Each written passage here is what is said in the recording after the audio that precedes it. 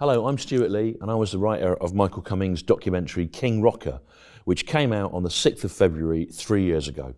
Uh, it's a documentary about the rise of the provincial post punk band The Nightingales, who kept going in the face of public indifference for the best part of four decades and are now cresting and rising once more. And wherever you live in the world, you can see it if you go to www.kingrockerfilm.com. And I heartily recommend it because it is one of the most heartwarming films ever made, as described one of my all time favourite rock docs by Mark Kermode.